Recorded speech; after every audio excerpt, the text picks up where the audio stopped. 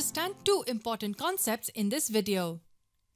Consider two intersecting lines A and B. How many angles are formed when two lines intersect? You can see that four angles are formed. Angle 1, angle 2, angle 3 and angle 4. Look at angles 1 and 3. They are opposite each other and are always equal. They are called vertically opposite angles. Angles 2 and 4 are also opposite each other and are also equal. This pair of angles as well are called vertically opposite angles.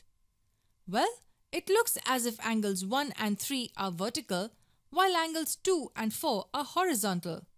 But in any case, such pairs of angles are always called vertically opposite angles.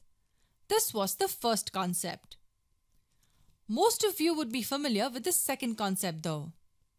If we have a line on a plane and a ray from any point on the line, then two angles are formed, angle 1 and angle 2.